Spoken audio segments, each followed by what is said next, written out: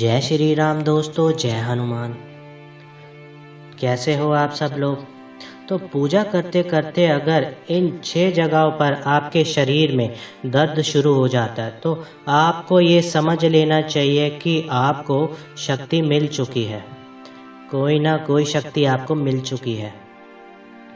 अगर शरीर के इन छह भागों में आपको दर्द महसूस होता है, जब भी कोई शक्ति आती है तो वो सबसे पहले आपके मूलाधार चक्र पर बैठती है। मूलाधार चक्र से फिर वो ऊपर की ओर तरफ़ उठना शुरू कर देती है। और आपके शरीर में बहुत से बदलाव होते हैं। जिन बदलावों के कारण क्या होता है कि इन छह जगहों पर आपको दर्द महसूस होता है हल्का हल्का अजीब सा आपको लगता है और महसूस होता है। और आपको समझ में नहीं आएगा कि आखिर ये कैसा है।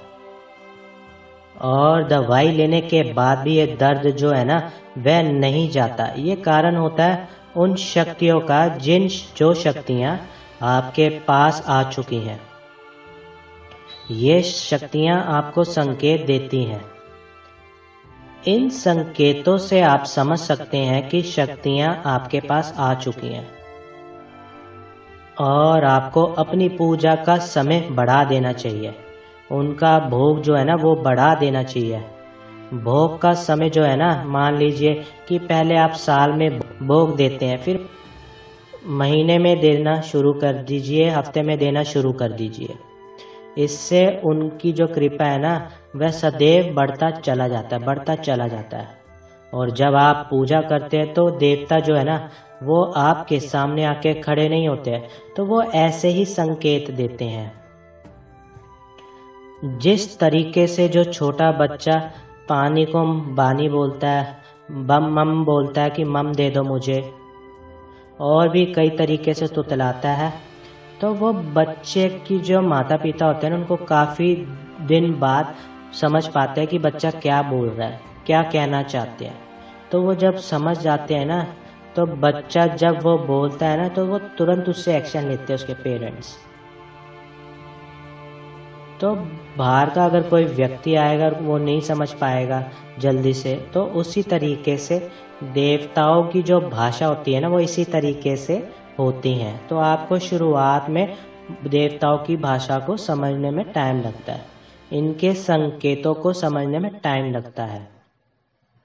जब आप एक बार समझ जाते हैं तो आपको फिर दिक्कत नहीं होती है। तो आप फिर ये समझ जाते हैं कि ये सपना दिखाई दिया है मुझे तो इसका क्या कारण है, क्या अर्थ है? अगर ये घटना मेरे साथ घटित हुई है तो इसका पीछे क्या कारण है? तो ये चीज़ें आप समझ जाते हो, क्योंकि आपने इसके भाषा को समझ लिया, इन संकेतों को आपने समझ लिया है। तो छह जगह आपको दर्द होता है शरीर में। तो कौन कौन सी ऐसी जगह है? ध्यान से सुनिए। सबसे पहले जो ऐसी जगह है, जो शक्ति मिलती है, जो हल्का हल्का दर्द शुरू होने लग जाता है तो सबसे पहला होता है माथे पर। जब आप पूजा पाठ जब करते हैं तो शक्ति जब आती है तो वह माथे पर आपके दर्द होता है। खिंचाव होता है और आपको मीठी मीठी खुजली होती है आपके माथे पर। जहाँ महिलाएँ बिंदु लगाती हैं, जहाँ हमारा आग्र चक्र होता है। और ये जो इसलिए होता है, शक्ति कहीं ना कहीं आपकी दिव्य दृष्टि को खोलना चाह रही है। कहीं ना कहीं सूक्ष्म जगत को दिखाना चाह रही है। आपकी जो सूक्ष्म इंद्रियाँ होती है, वो आपकी जागृत करना चाह रही हैं। जिससे आपको इस प्रकार का हल्का हल्का दर्द रहता है और ये दर्द हर समय रहता है। दवाई ले लोगे तब भी बात करोगे अगर इस दर्द की जाने की तो कुछ समय बाद, हफ़्ते बाद ये दर्द चला जाता है आपको। ज़्यादा टेंशन लेने की ज़रूरत नहीं है। दूसरी जगह पर जो दर्द होता है, वो होता है कमर में। आपकी कमर में दर्द होता है।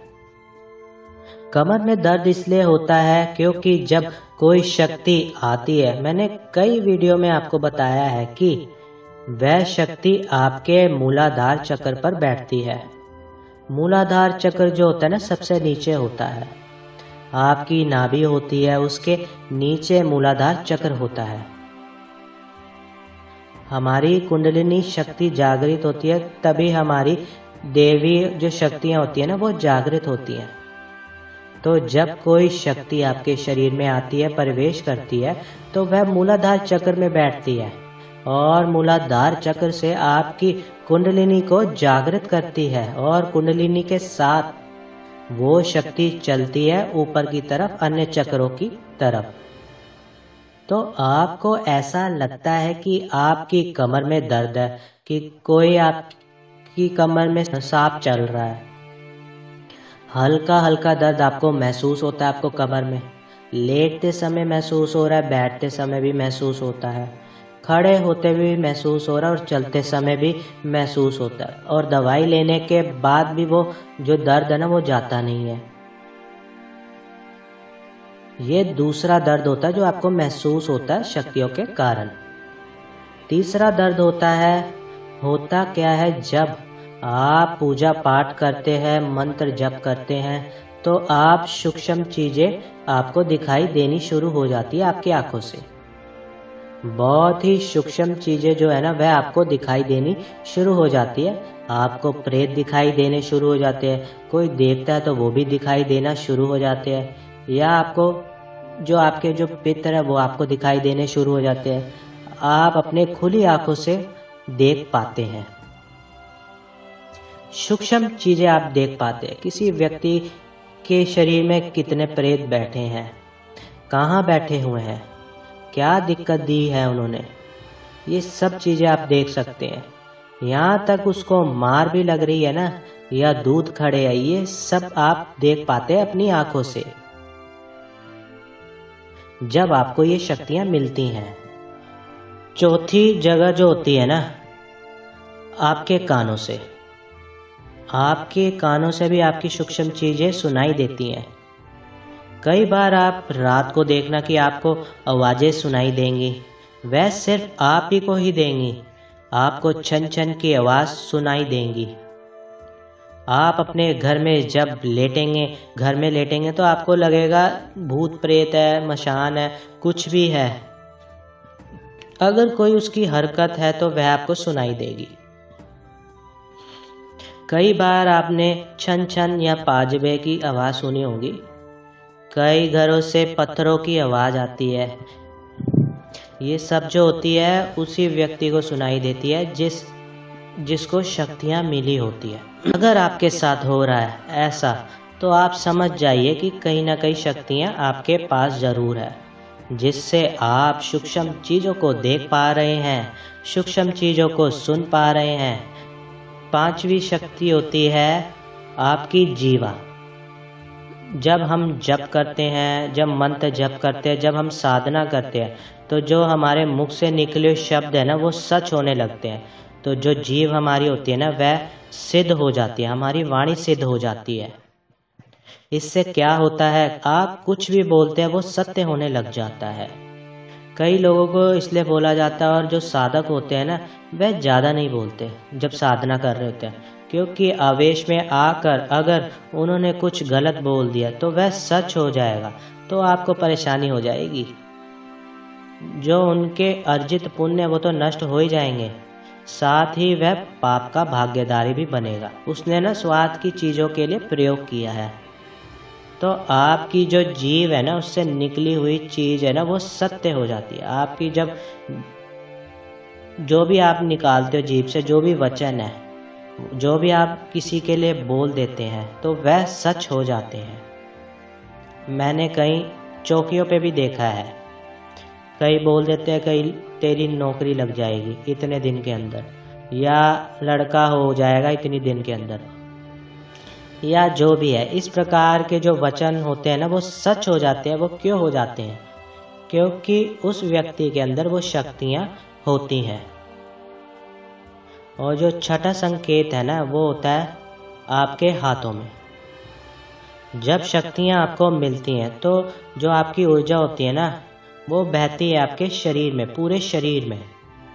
और आपने अधिक तक भक्तों को देखा होगा, साधकों को देखा होगा, वह किसी के सिर पर हाथ रखते हैं ना तो प्रेत हाजिर हो जाता है, उसको मार लगती है। तो वो, अगर उनको किसी को सवारी बुलानी होती है तो वो हाजिर हो जाती है। इसके जो पीछे कारण ये होता है कि आपके हाथ से प्रवाह होकर वो ऊर्जा जो आपके अंदर है, वो ऊर्जा उस व्यक्ति के शरीर में ट्रांसफ़र हो जाती है। और जो उसका सूक्ष्म, जो सूक्ष्म शक्ति है ना, सूक्ष्म अंग है ना, वो जागृत करती है। अगर आपके हाथ से अगर लोगों को आराम होना शुरू हो जाता है, सिर्फ़ हाथ आप सिर पर रख रहे हो और उसको आराम शुरू हो जाता है, उसको झाड़ा लगा रहे हो, आराम होना शुरू हो गया तो इसका मतलब कहीं ना कहीं देवी शक्तियाँ आपको मिल चुकी हैं, आपके पास आ चुकी है। ये शुरुआती ही समय होता है और इस समय पर आपको इस चीज़ों का ध्यान रखना चाहिए कि आपका किसी बड़े काम में हाथ नहीं डालना है, किसी प्रेत को आपको नहीं हटाना है। कई लोगों को घमंड आ जाता है, वो पहुँच जाते हैं कि मेरे पास शक्तियाँ तो आ चुकी है। आराम हो गया तो वो क्या करते हैं? बड़े से बड़े प्रेत को हटाने में लग जाते हैं। इससे क्या होगा? आपको पता ही नहीं होगा कि उस प्रेत को उतारने के बाद रखना क्या है, दबाना कहाँ है, कि आपको भी वो ताकि परेशान ना कर सके वो प्रेत। तो ये छः हिस्से जो है ना मैंने आपको बताया, जहाँ पर इन छः हिस्सों में दर्द शुरू हो जाता है। तो मुझे आशा है, मुझे आशा है कि आपको ये जानकारी पसंद आई होगी। पहली बार अगर चैनल पर है तो चैनल को सब्सक्राइब कीजिए और वीडियो को लाइक कीजिए और शेयर कीजिए ज़्यादा से ज़्यादा। जय श्री राम दोस्तों, जय हनुमान।